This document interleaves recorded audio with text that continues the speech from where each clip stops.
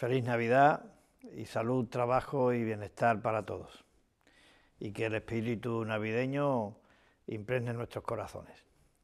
Que cunda el espíritu de la Navidad, la concordia, la fraternidad, el amor, el perdón y la solidaridad.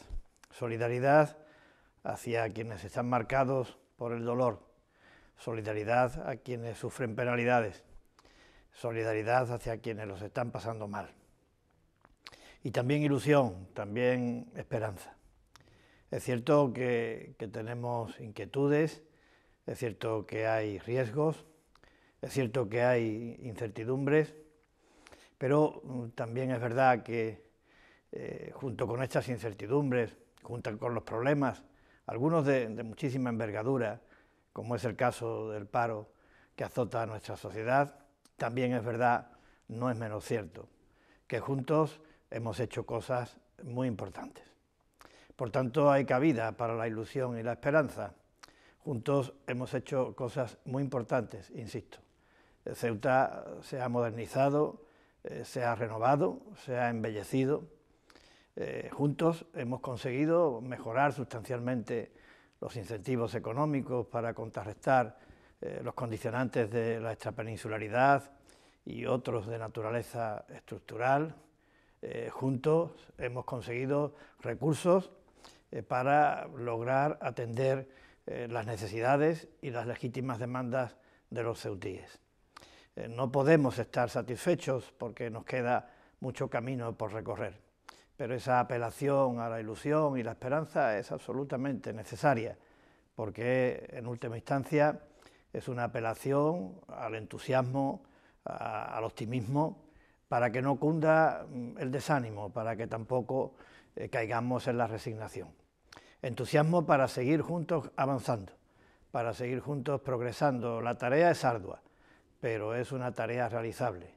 Eh, juntos para seguir desarrollando eh, la trama urbana de nuestra ciudad, para seguir renovando y mejorando equipamientos y servicios medioambientales, comunitarios, culturales, educativos, asistenciales, para seguir poniendo en valor la categoría de nuestro patrimonio histórico, cultural y natural, juntos para afrontar esa tarea irrenunciable de abrir horizontes de esperanza, de oportunidades eh, para nuestros jóvenes, oportunidades de formación y de empleo, también para los parados de larga duración, juntos para mejorar las comunicaciones de Ceuta eh, con, el entorno, eh, juntos para mejorar la competitividad de nuestras empresas, juntos para favorecer la igualdad efectiva y real entre hombres y mujeres y para erradicar la violencia de género.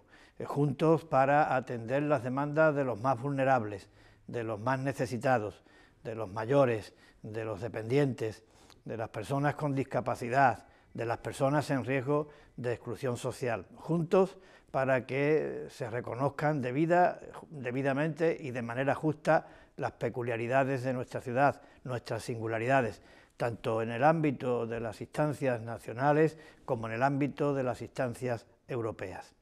Estoy convencido de que juntos podemos y sobre todo estoy convencido de que eh, la inmensa mayoría de los ceutíes eh, se reconocen y, son conscientes de que pertenecemos a una gran nación y de que además vivimos en una ciudad mágica, en una ciudad prodigiosa, atractiva, hermosa.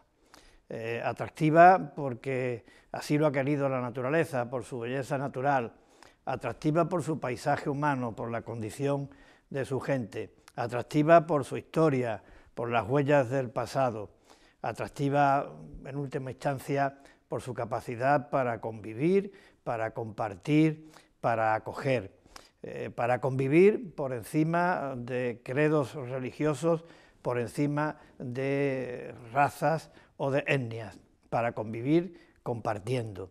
Eh, una ciudad eh, que se honra, yo creo, que con razón y que presume con razón de vivir por y para España, una ciudad que encuentra en el patriotismo el rasgo más acentuado de su personalidad. Muchas gracias por la atención y felicidades a todos.